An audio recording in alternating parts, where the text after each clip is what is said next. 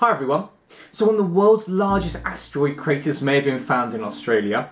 The Large Hadron Collider has delays in being turned back on due to some problem with the electronics. And a couple of astronauts have gone up to the International Space Station for the longest stay on the International Space Station. This is your weekly science news with me, the UKAstroNut. The largest ever asteroid crater on Earth has been found underneath the surface of Australia. This crater is 400 kilometres wide, but scientists have only just seen it for the first time because it's buried well beneath the surface. And this is because the asteroid created a massive crater millions and millions of years ago, and over time sediment and piece of rubble, material and everything is laid on top of it, covering over the crater. It's only now that scientists have been able to actually find it.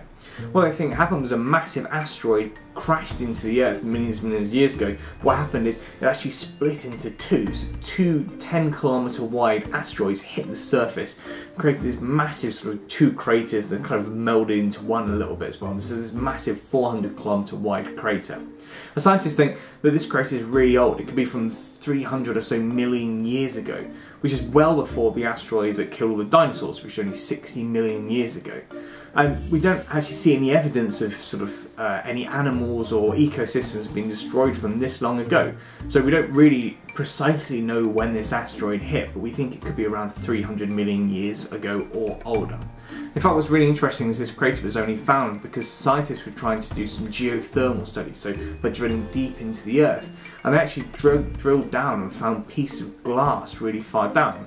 And this glass was caused when sediment and sand was superheated by this asteroid crashing into the Earth. Which is a really phenomenal process. The heat that comes from this asteroid could turn sand and sediment into glass. It's pretty extraordinary. It must have been a really massive and energetic collision.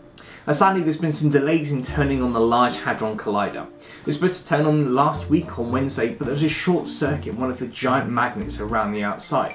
There's hundreds of these magnets, sadly there's a short circuit in one of them, which means they haven't been able to return on the Large Hadron Collider since its last upgrade.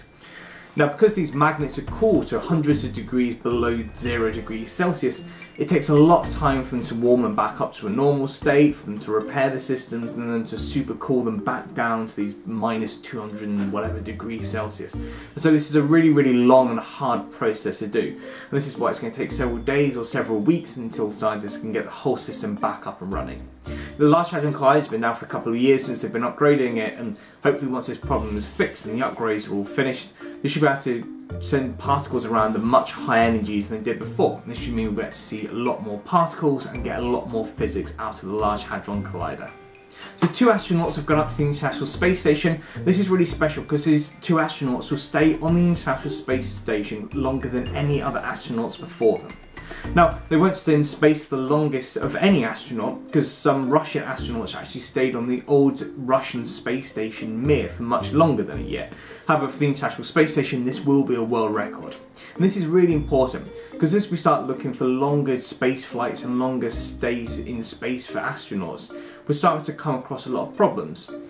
These are a lot of health problems such as muscle deterioration, this is when muscles become weaker, and bone density reduction, this is when bones become less dense. And these are really serious medical problems. And there are other ones as well, such as problems with the immune system and problems with eyesight astronauts are starting to face. So this will be sort of a chance for scientists study astronauts for a long time in space and see the effects on their health. And this is all kind of in preparation as well for future missions to Mars, where astronauts will have to spend several months inside spaceships going all the way to Mars. And so this is kind of a, a precursor for those long distant journeys. Thank you very much for watching. That was your weekly science news. Don't forget you can leave any comments on the video or any of the news stories that maybe you saw in the news that you want to talk about in the comments below the video. Don't forget to like, subscribe to my channel and check me out on Twitter at UKAstroNut and also now at Facebook at UKAstroNut as well. But otherwise thank you very much for watching and I will see you guys all soon. There's something special about seeing a solar eclipse. Many of us will only get to see one during our lifetime because they're that rare an event solar filters on cameras and solar eclipse glasses means that millions of us can get together and enjoy this spectacular event together. But what is a solar eclipse? What causes it? And what science can we do with one?